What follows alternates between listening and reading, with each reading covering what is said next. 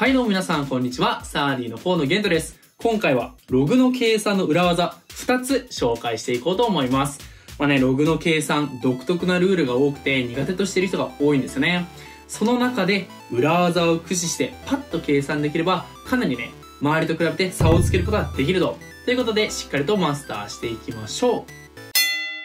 それでは裏技1つ目。このね、公式があると。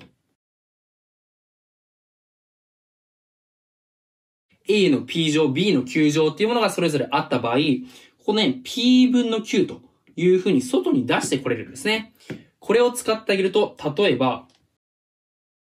ログ8の4分の1っていうのもすぐに計算ができて、ログ2の3乗と2のマイナス2乗っていうふうに変換してあげれば、このね、マイナス3分の2っていうのを外に出せる。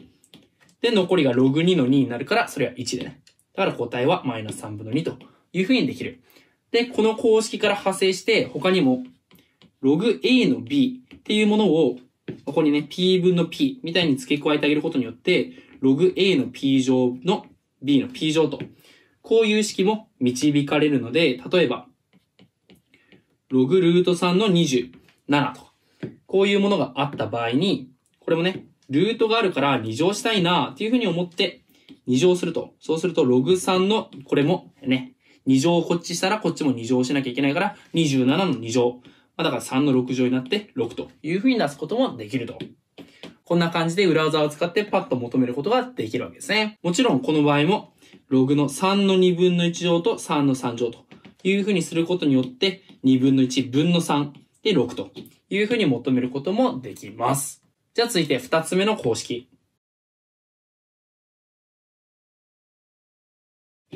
この公式があるんですね。まあ、どういうことかというと、この B と B、ここの部分が一緒になった場合、ここ連結して消えるんですよ。ね、ログ A の C になると。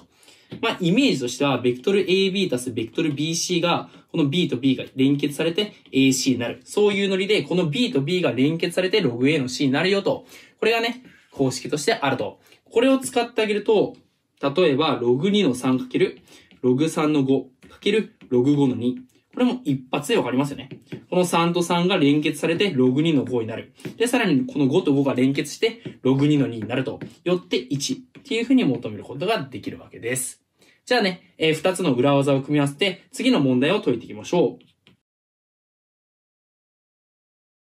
こういう問題。まあ、センター試験で品質ですよね。まあ、まず、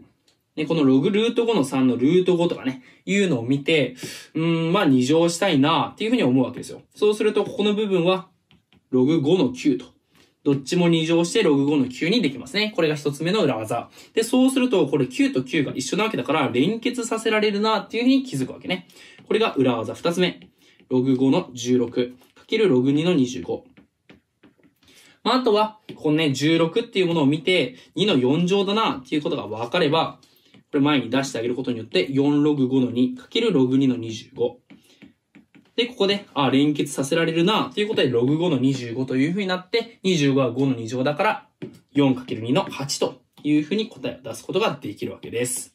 まあ、こんな感じで裏技を駆使してあげることによって、センター試験で品質なちょっとね、時間がかかってしまうような計算をパッと求めることができるというわけですね。ということで今回対数の計算の裏技2つ紹介してきたわけなんですけど、まあ結局大事なのは基本的な考え方。まずは基本的な考え方を押さえてもらった上で、プラスアルファで今回の裏技を駆使して、対数の問題を瞬殺してもらえたらいいなと思います。今後もこういった裏技の動画たくさん出していこうと思ってるので、チャンネル登録、高評価、そしてこういう動画撮ってほしいよっていうものをコメントに残してもらえると嬉しいです。ということでまた次回の動画でお会いしましょう。